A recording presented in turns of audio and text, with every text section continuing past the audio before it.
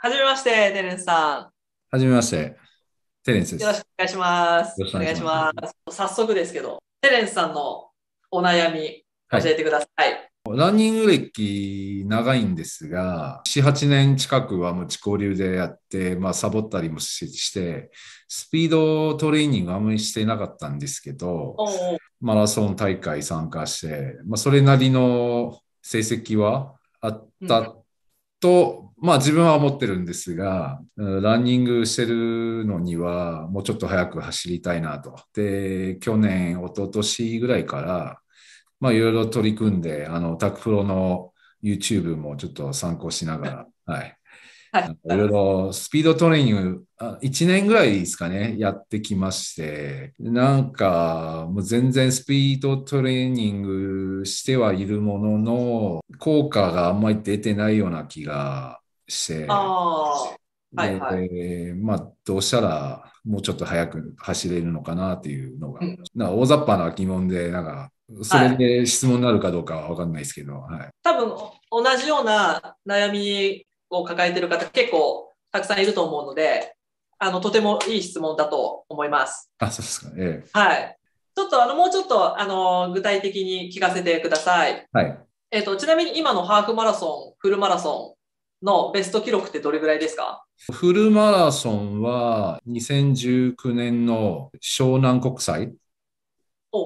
で3時間33分でして、ハーフ、まあ最近あんまり大会出てないんですが、ハーフじゃなくて20キロ、今年の5月で5キロの河川敷で4周走る20キロのやつ走ったんですけど、その時は1時間28分とかはい。結構早いですね。いえいえいえ、全然。いろいろネットで、まあ見てると、あのはい。40代からは VO2max も落ちてくると。50代からはもう筋肉も落ちてくるとか、なんかそういう記事もあったんで、はい自分も45、もうすぐ、その辺でもう肉体的にも無理なのかなっていうのがちょっと心配して、はい。そういう、その辺もだからトレーニングしてもあんまり効果出ないのかなっていうのが、ちなみにあれですよね、その、スピードをどうやって強化していくかみたいなはい、ところが今のところ問題というか課題だと思うんですけど、はい。でも、えっ、と、目標としてはフルマラソンとかハーフマラソンのタイムを縮めたいみたいなとそうですね。そうですよ。ね。はい。例えば、えっ、と、5キロのタイムをぐんぐん伸ばしたいとか、っていうよりは、フルマラソンとかハーフマラソンですもんね。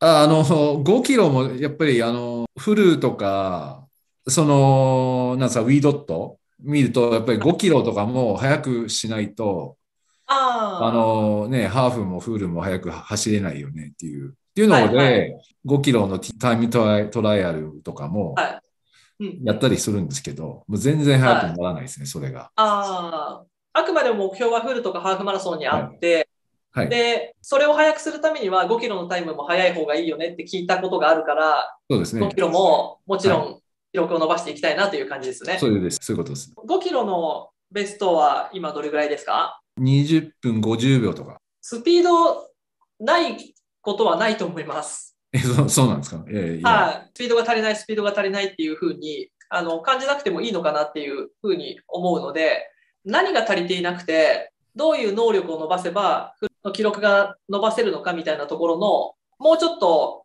うまく整理ができれば、はい記録が伸びてくるかなと思うので、なるほど。スピードが足りない、スピードが足りないみたいなところに持ってきすぎると、少しこういうトレーニングやった方がいいよねっていう視野が狭くなっちゃうんですよ。なので、もうちょっとしっかり分析して、はいどの能力が足りてなくて、どれが足りててっていうのをあの、はい明確にしていきましょはい。お願いします。う。で、具体的に今トレーニングとしては、はい。えー月曜日から日曜日までとか、だいたい1ヶ月キロぐらい走ってるかとか、はいそのあたり詳しく教えてもらってもいいですか、はい。そうですね。月曜日はだいたい休息にしておりまして、ではい。火曜日、まあ、ジョグ、水曜日はい、ポイント練習、木曜日もだいたいジョグで、金曜日もし、まあ、ジョグできたらジョグで、土曜日がポイント練習、まあ、土日どっちかポイント練習で、どっちはい。かあのロング、はい。はい。そういう感じですね。で、月間走行距離がだいたい、まあ平均250キロぐらいですかね、おお、結構走ってます。えでただ、まあ、ジョグのところですけど、はい。えーまあ、本当のあのネットでいろいろ参考すると、いいはいペースとか、いいのはいが多いんですけど、自分は、はいでも、べいいペースっていうよりは、本当のジョグみたいな、6分半から入って、5分後半か6分前半ぐらいで終わる感じですね。もうちょっとそのはいはいはいいいペースでしたら、もうちょっと早めに走ってもいいいいような気がするんですけど、まあ大体はそういうふうに終わる感じです。そこがなんか、ちょっと違和感あるかなという。まあ、あーちなみにポイント練習、水曜日と、えっ、と、土曜日か日曜日にやっているポイント練習はどんな感じですか、えーっと、平日のポイント練習は、まあ大体その T ペース、いい T ペース。の20分ぐらいおはいはい。で、土日は、ヤソ800か、1000メートルタイあの、インターバルの、まあ、5本か6本か。水曜日の T ペースは何分ぐらいのペースでやってますか？4分半、4分、そうですね、前後ぐらいですね。えっ、と、土日のインターバル走的な、はい。えっ、と、安さとか、インターバルのペースはどれぐらいですか？本当は1000メートルもうちょっとあの早く走りたいんですけど、でもはい、大体4分2秒とか、目標は設定してるのに、でも大体もうそこら辺で終わってしまう、そそこら辺の結果しか出ないっていうか、はいはいはい。4分、4分2秒、そうですね、3分58とかあったりするんですけど、4分5秒ぐらいですかね。3分あー58から4分5秒ぐらいで終わる感じですね。なんか走ってると、何回走ってると速くなるとか、そういうのを見るんですけど、全然自分あはい。でハしても速くならない感じですね。ああ、1000メートルの間とかってどれぐらい取ってますか？と1分45秒ですね。で、ヤソ800の方は3分12ぐらいですかね。OK です。わかりました。イメージになると思うんですけど、はい。100メートル全力疾走したら何秒ぐらいで走れそうですか？すごいざっくりでいい。16、7秒ぐらいですかね。16、7秒ぐらい。OK です。ありがとうございます。では、ちょっとじゃあトレーニングの全体感でいくと、なんかすごくバランスのいいトレーニングはできてるかなという感じはします。そうなんですね。いはい。えっ、と、ちょっと気になっていたジョグのペースも、はいえっ、と、6分30から6分でも、あの、全然問題ないと思います。あ、そうなんです。はい。全然、全然問題ないです。やっぱり、あの、最初にもお伝えしたところが、やっぱり問題になっているというか、えっ、えと、視野を狭くししてしまっているええことが原因で、記録が積み上がっていかないっていうのが、全体像なのかなっていうふうに、ええあの、自分的には思いました。えはい。で、ちょっとこういう考え方もあるんだなっていうので、ええちょっとお伝えしたいことがあって、はい例えば、100メートル走の全力走をしたときに、例えば、100メートル12秒、12秒。はい。100メートル12秒。いや、もうめちゃくちゃ速い人ですよね。そうですね。っていう人と、えっ、と、100メートル16秒から17秒の人と、えー100メートル全力出し出しても20秒でしか走れない人。えっ、と、このええ3パターンあったとするじゃないですか。はい。この3パターンあったときに、マラソン選手としてスピードがあるのは誰ですかっていう質問があったときに、おー。うーん。なるほど。この段階でははい。わからないですね。わかんないじゃないですか。わからないですね。じゃあ、マラソン選手としてのスピードって何かっていうと、ええ。トップスピードの話じゃなくて、ある程度のペースを、うん。ある程度の距離引っ張れることだなんですよね。うーん。はい。はいで考えると、すごい極端な表現をすると、スタミナイコールスピードとも言えるんですよ。100メートル20秒でしか全力疾走して、100メートル20秒でしか走れない人が、でも、ありえない話なんですけどね、ありえない話なんですけど、あの、そのペースで10キロまで走れますって言ったとしたら、100メートル20秒ってことは、えー1キロ3分20秒のペースなんですね。そうですね。はい。3分20秒で10キロ走れる。そうしたら、その人って長距離ランナーとしてスピードあるって感じしないですか？全然早いですね。ですよね。はい今のは基本的にありえない話なんですけど、要はスピードがあるないっていうのは、スタミナもかなり影響してますよってことなんですよ。マラソン選手のスピードに関しては。ってことを考えると、今のテレンスさんの頭、頭で考えると、なんかスピードが足りてないな、スピードが足りてないなっていう頭の中にそういうのが大きくなればなるほど、今のところテレンスさんの頭の中だと、スピード練習って速く走って伸ばしていくものだと思っていったら、そうです。練習メニューをやるときに、ヤスト800にしても、1000メートルのインターバルやるにしても、とにかく設定ペース早くいけるようにしようっていう頭になっちゃうんですよ。ああ、確かに。はい。そうすると、意外とそういう能力、要は1000メートルのタイムを上げていこうとか、えー800メートルのタイムを上げていこうっていう能力ってあんま伸びないんですよ。うん。なので、そこを伸ばすよりも、スタミナの方を伸ばしていった方がいいんですよ。そうなると、どういうアプローチのトレーニングをした方がいいかっていうと、え例えば1000メートル5本みたいのをやるときに、今までの、えっとテレンスさんの頭の中だと、できれば3分58でやりたいなとか、まあもっと言うと、もっと記録を伸ばすんだったら3分55でやれた方がいい。3分50でやれた方がいいっていえそううですね。思考だと思うんですけど、そっちは意外と伸ばしにくいじゃあ、も、もっと簡単にマラソン選手としてのスピード能力を伸ばす方法って何かなって言ったら、もうちょい設定ペースを落としていいから、その分本数をやろうとか、要は4分10秒とかでもいいから、7本8本やってみようとか、極端なこと言うと4分10秒、もう15秒とかでもいいから、あ、そうなんですね。12本やってみようとか、15本やってみようとか、っていうようなアプローチをすれば、マラソン選手としてのある程度のペースをある程度長い距離引っ張れるっていう、マラソン選手としてのスピード能力が伸びていくと思うんですよ。はい、はい、はい。結局、フルマラソンでサブ3をしようと思ったら、キロ4分ちょいでいいんですよ。その4分ちょいで引っ張れる能力を伸ばした方が良くて、3分55で走ろう、3分50で走ろうみたいな、そっちの能力を、まあもちろん伸ばせるに越したことはないんですけど、そっちの能力ってちょっと伸ばしにくかったりするんで、伸ばしにくいし、そこにこだわると、結果、なんかパワーで走る、無理やりスピードを出すような走りはい。ついてしまって、結果長持ちしなかったりするんですよね。うん。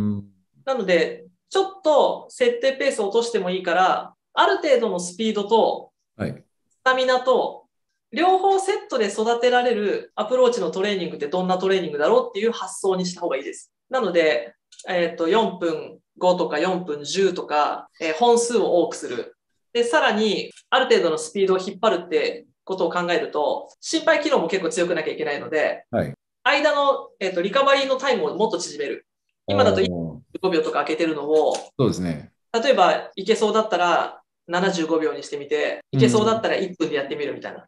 なるほど。そういう風にして伸びるのがマラソンで必要なスピード能力。まあ、よく表現するのがスピード持久力ってやつですね。だからなんかスピードが足りてない、スピードが足りてないっていうと、どっちかというと頭、頭が持ってかれるのは速く走ることに持ってかれちゃうんですけど、はい。今のところ4分よりも速いスピードで、に体を慣らす必要ってあんまないと思うので、そうなんですね。えーだから、能力的に足りない要素があるとしたら、両極端に行くと、こっち側がスピード、もう本当のスピード、トップスピードがどれだけ出せるかとか、っていうスピードと、はいあとはこっち側の極端なラインが、えっ、と、持久力、スタミナ、何キロまで元気で走れるかみたいな。えっ、と、この両方のアプローチのトレーニングがあるとしたら、今の頭で考えちゃうと、こっちによったこの辺のトレーニングをいっぱいしちゃうと思うんですよ。そうですね。今やるべきトレーニングって、この真ん中あたりのトレーニングだと思います。なんかこっちに寄りすぎてもないし、T ペースで引っ張るトレーニングって、真ん中よりも若干スタミナ系だと思うんですよ。あ、そうなんです？今 T ペースって、レースペースぐらい、もしくは、えー、とレースペース、まあ、レースペースぐらいですね。よりちょっと速かったりするぐらいだと思うんですけど、えあと真ん中よりもちょっとスタミナ寄りのトレーニングだと思うんですけど、ーはい。真ん中よりも若干スピード寄りのトレーニングのイメージでトレーニングができるといいかなと思います。だから T ペースよりもちょっと速いペースで、ある程度のボリュームを持って、で、えっ、と、リカバリーの時間とかもできれば短くできた方がいいねっていう。じゃあ、それが例えばえ4分に20、25ぐらいで1時間引っ張るとか、そういう感じですかね。もうちょっとインターバル側に寄せた方がいいと思います。ああ、は T ペースが4分30とかだったので、い。えっと、それもうちょい早い早い方がいいかもしれないです。15から10とか。をインターバルでやる。インターバル。それだとなんか何本ぐらいできそうですか？4分10、15でしたらどう、どうですかね。えーそうですね。まあ10本ぐらいはできるんじゃないですかね。はい、そうですか。多分、多分。そういう、で、間、間どれぐらいで呼吸がある程度、なんか苦しいっていうところから、ちょっとまろやかになるの何秒ぐらいかかりそうですか？ああ、そうですね。まあ90秒できるかかもしれないですね。そう一回、えっ、と、4分15秒から10秒ぐらいで、はい。えっ、と、10本。間の休憩は90秒。もう90秒もできればジョギングでつなぎたいですね。ゆっゆっくりでいいので。これを一回やってみて、ちょっとあまりにもきつかったら、えっ、と、本数を減らすとか、少し間の休憩を長くすするとかで、はい。微調整して、逆に余裕があったらもうちょい本数増やしてみるとか、休憩を短くするとか、調整して、まあ、あんまりあの出し切るというよりは、ある程度のスピードで、ある程度の本数を、そんなになんかめちゃくちゃ苦しくないところで引っ張れたなっていう印象で終われるぐらいのボリューム負荷ですええね。ええなんかそのあたりを攻めていくと、結果、スピードってついてきます。ってことはマラ、ソンにおけるスピード。うん短距離ももう少し速く走る感じもするんですかね？もしやるとしたら、それはそれで、そっちに振り切ったトレーニングの方がいいと思います。ああ、例えば200メートル15本とか。なるほど。はいはい、で、はいそれは、それはそれでスピードの、さっきの両極端の幅のスピード側に思いっきり振ったトレーニングですね。ええ例えば、2週間に1回とかに200メートル15本とか、100メートル30本とか、一本一本全力にややる必要はないと思うので、なんか気持ちよくさーっと100メートルとか200メートルをさーっと流して、ジョギングでまた戻ってみたいな、そういうトレーニングと、さっきお伝えした、はいつ今までやってたのペースよりも設定ペース若干落として、その代わり本数が多い、間が短い、えっていうインターバル走。その2つをやれれば、もう十分スピード能力っていうのは足りてる。えはいと。はい。わかりました。やってみたいと思います。はい。なんかちょっとスピード能力を伸ばそうっていうののイメージがずれてた感じっていうんですかね。ああちょっと、まあ、だいぶイメージが、まあ、湧いてきましたっていうか、はい。こうすぐ、なんか、モチベーションが上がった感じがします。あ、本当ですか？ありがとうございます。そんなところで結構走れるようになると思います。で、あとちなみにロングってどんな感じでやってますか？日曜日、土日にやるロング。今ですね、実は、あの、妻と一緒に走ってまして、で、はい。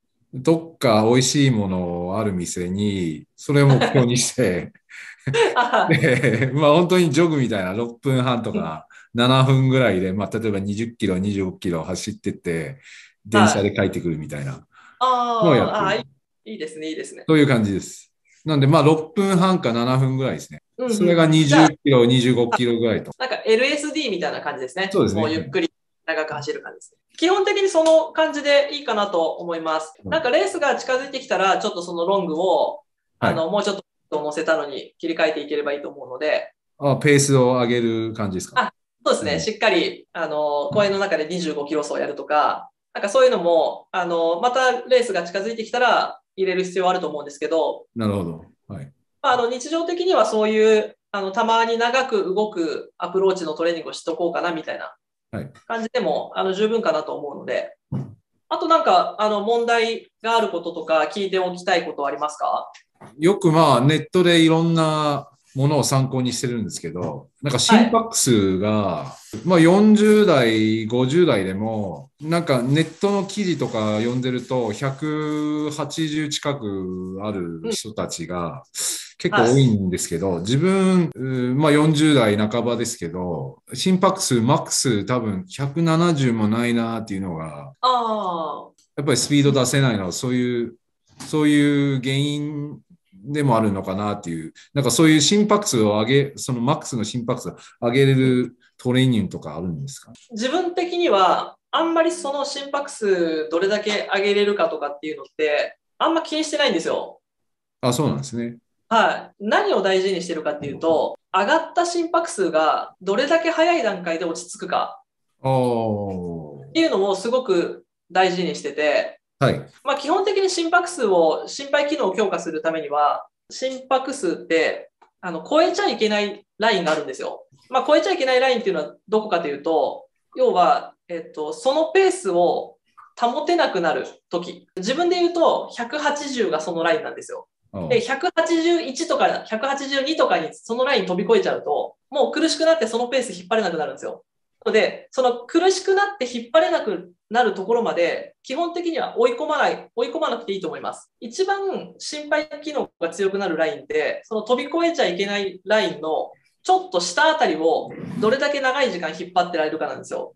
ええ、要は、その超えちゃいけないラインに近いところで、にいる時間をどれだけ長い時間取れるかってトレーニングなんですけど、うん、えっ、ー、と、おそらく今までのトレーニングのやり方だと、おそらくインターバル走をやってる時って、その超えちゃいけないラインをバーンと超えて、リカバリーで休憩させて、バーンって飛び越えて休憩させてっていう感じになってたと思うんですよ。そうですね。でそうすると、この超えちゃいけないラインのちょっと下あたりを引っ張る時間ってあんま作れてないじゃないですか。ああ、そうですね。ですよね。さっき、え自分が提案した、はい、ちょっとペース遅くていいから、その代わり間の休憩を短くして、ボリュームをちょっと増やしましょうっていうトレーニングのアプローチをしたとしたら、おそらく、その飛び越えちゃいけないところ飛び越えないで、休憩も短いから、心拍数が下がりきる前にまた上げて、これが繰り返せると思うんですよ。はい、はい、はい。すると、心肺機能が強くなるラインを叩いてる時間が伸ばせるんですよ。ええー、はい。これが心肺機能が強くなるトレーニングです。うん。だから今まではぐっと追い込んでたけど、実は一番美味しい時間は、一番そのトレーニング効果が高い心肺機能が一番強くなる時間は、実はあまり作れていなかったってことなんですね。そうですね。はあはあはあ、なるほど。なるほど。なので、そういう面から見ても、心肺機能を強化するためにも、えー、さっきの形のインターバルにした方が効果はあるかなと思います。なるほど。わかりました。だいぶ、はい。分かったような気が。すっきりしてきました。はい。なので、おそらくトレーニングが頑張れちゃう、追い込めるからこそ、ハマってしまったところなのかなっていう感じですね。なので、ちょっと一歩引いたところで、苦しいんだけど、嫌になる苦しさではない、苦しいんだけど、まだまだ引っ張れそうっていうラインをうまく引っ張れるようにすると、もっともっとトレーニングがあの効率のいい成果の出るトレーニングになると思うので、うん、テレンさんはちょっと頑張りすぎちゃう。一本一本ちょっと頑張りすぎちゃうところがあると思うんで。なるほど。わかりました。はい。少し一歩引いて、はい。やれるといいかなと思います。大変参考になります。そうですね。まあ、あの、早く走ってみたいっていうのは、はい。今からでも、はい。あの、まずはやってみたいと思います。はい。またちょっとフィードバックできれば、はい。はい、あぜひぜひ、また、はい、あこんな感じだったか、ええ。やってください。ありがとうございます。今、インターネットで調べればいろんな情報がたくさん出てくるんですけど、その情報を集めれば集めるほど、今私がやってることって合っているのだろうかとか、はいはい。調べれば調べるほどなんか悩んでしまうこともたくさんあると思うので、そうです。なので、もし迷った時は、迷ってるのにまた情報を集めてってなると、どんどん迷っちゃうんで、はい。なんかそういう時ほどシンプルに考えた方がいいので、答えは自分の中にあって、ええー、なるほど。変な方に寄ってないかなとか、考え方が。本当ですね。はい。なんかその辺がうまく整理できると、あ、この情報は今の自分には合ってなくて、この情報は今の自分には合ってるんだみたいなものが、あのシンプルに考えられるようになると思うので、あの迷った時は情報詰めすぎず、はい、シンプルに考えるとスッキリするかなと思います。えっ、ー、と、本当にどうしようもなくなったら、いつでも私でよければ。えー、愛知の辺でしたら、まあ、ぜひ一度、アカデミーでも、はい、はい、参加させていただきたい。また、関東にでイベントをやるときがあったら、ご連絡させていただきます。あぜひぜひ参加したいと思います、はい、よろしくお願いします。ありがとうございます。では、えー、こんな感じでいきたいと思います。ありがとうございました。はい。はい。ありがとうございました。はい。ありがとうございました。ありがとうございました。いかがでしたでしょうか？この教えてタクプロのコーナーは、まだまだ皆様からのお悩みを募集しております。概要欄のエントリーフォームからエントリーお待ちしてます。